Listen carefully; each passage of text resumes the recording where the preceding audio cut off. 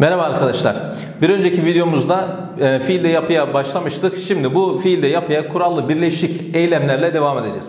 Kurallı birleşik eylemler birazcık diğerlerinden farklı kurulmaktadır. Hemen bakalım.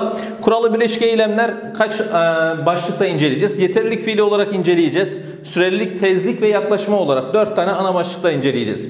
Yeterlilik fiilin formülü vardır. Biz bu formüle göre yapacağız. Fiil artı e bilmek ya da a bilmek şeklinde gelecektir. O zaman bu şekilde geldiğinde biz buna ne diyeceğiz? Kurallı birleşik eylem diyeceğiz. Klimayı açabilir misiniz dediğimizde ha bir de şu vardı. Yeterlilik fiilleri farklı anlamlar ortaya koyabiliyordu. Gücü yetme, olasılık, ihtimal, rica anlamı ortaya koyabilir.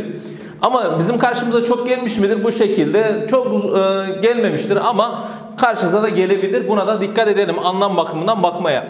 Klimayı açabilir misiniz dediğimizde bizim yapmamız gereken şey neydi? İlk önce fiilimizi göreceğiz. Arkasından e bilmek, a bilmek gelmiş mi gelmemiş mi ona bakacağız. Klimayı açabilir misiniz dediğimizde ben şu kısmında abilmek kelimesini, abilmek ekini görebiliyor muyum?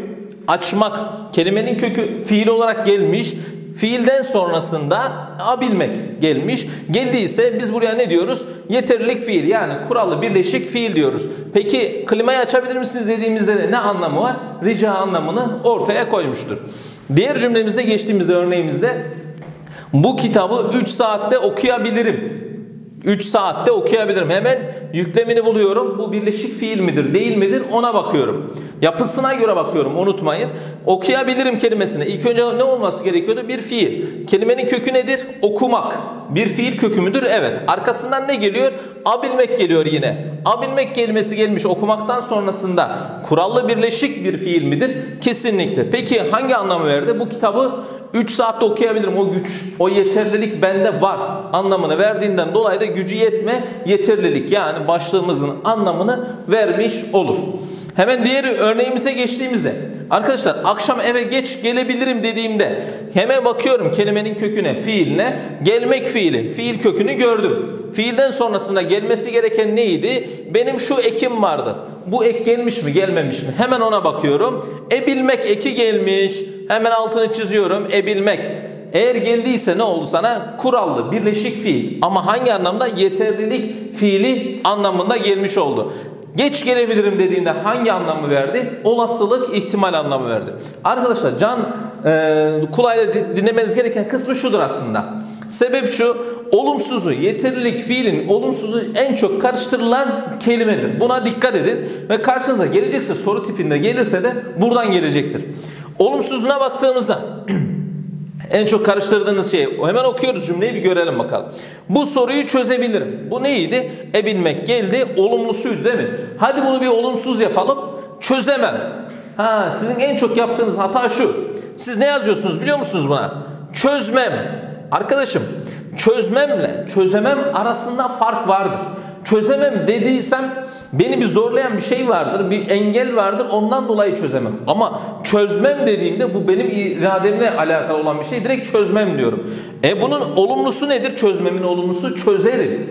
Hani nerede? Bak olumlusuna çeviriyorum. Çözerim. İyi de arkadaşım burada hani e bilmek? Çözmem kelimesinin olumlusu çözerim. Bu olmaz işte. Bu yeterlilik değildir. Ama çözemem kelimesini hadi olumlu yap dediğimde ne yapacaksın? Çözebilirim diyeceksin. İşte o zaman yeterlilik fiilindeki ebilmek eki ortaya çıkmış olacak. Tatile gidebilecek miyiz? Hemen baktık gidebilecek miyiz? Ebilmek. Bak ebilmek de soru ekiyle beraber gelmiş. Ebilmek. Gidebilecek miyiz? Hadi bunun olumsuzunu yap. Gidemeyecek miyiz? Bak gitmeyecek miyiz demiyoruz. Gidemeyecek miyiz diyoruz. İşte bu da olumsuzudur. Hemen aşağıya geçtiğimde içeri girebilirsin. Girebilirsin. Bak ne yaptım? Bir yeterlilik anlamını verdim. Girebilirsin. Eğer girebilirsin anlamını hadi olumsuz yap giremezsin.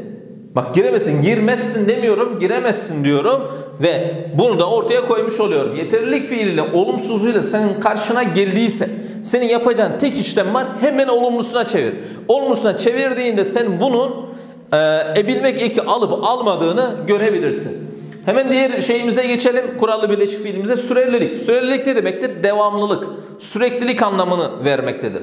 Bunun da bir formülü var. Fiilimiz her zaman için olacak. Hemen arkasından ek almak, e durmak. e gelmek. Yani süreklilik anlamını verecek kelimelerimizin gelmesi lazım. Fiillerimizin gelmesi lazım. Hemen örnekte bakıyoruz. Baka kalırım giden geminin ardından. Giden geminin ardından baka kalırım. Baka kalırım dediğimde bir süreklilik var mı? Gemi gitmiş ve ben arkasından baka kalmışım. Sürekli bakıyorum. Hadi bir e, şey olsun, mizahla olsun. Öküzün trene baktığı gibi baka kaldı. Yani bu ne demektir? Arkasından sürekli baka kaldı anlamını vermektedir. Ve süreklilik, bir devamlılık sezilmektedir.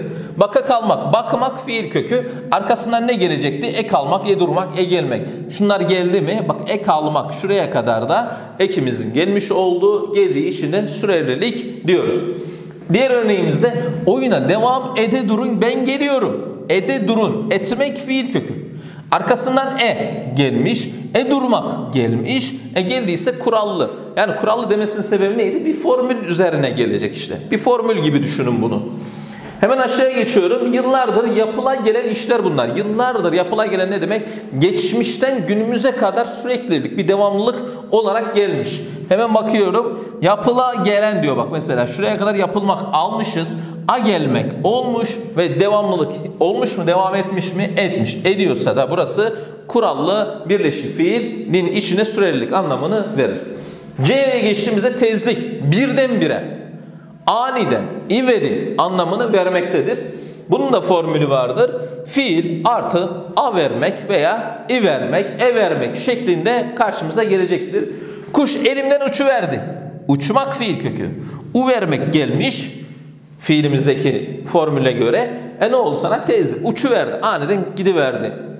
Anlamını vermektedir. Pencereden dışarı bakıverdim. Bakı vermek, bakmak gördüm. I vermek gördüm. Kurallı birleşik fiil. Bakı verdim. Aniden hızlı bir şekilde yapıverdim anlamını vermektedir. Yaklaşma fiiline geldiğimizde yaklaşmak demek bir şekilde az kaldı, neredeyse olacaktı gibi anlamlarını vermektedir. Burada da fiil artı a e yazmak, a yazmak ya da e yazmak şeklinde olacaktır. Hemen örneğinize geçtiğimizde sofraya getirirken tabaklar düşe yazdı. Bakın e yazdı. Hemen altına geçtim. Çocuk havuzda boğula yazdı. Gördüm hemen kısmını. Öyle yazdım. E yazmak. Gördük mü bunda? İşte bu da yaklaşma anlamını ölecekti de ölmedi. Tam yaklaştı anlamını vermektedir.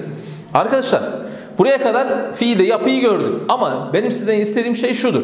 Fiilde yapıda dikkat etmeniz gereken kurallar şunlar. Bir, kelimenin köküne bakacaksınız bir. Fiil. Basit mi? Basitse sadece çekim eki alır. 2. Türemişse yapım eki almak zorundadır. 3. Birleşik fiilleri içinde de dikkat etmeniz gereken şeyler bir önceki videoda söyledim size. Hani hissetmek gibi, kaybolmak gibi, hapis olmak gibi kelimelere dikkat etmeniz gerekiyor.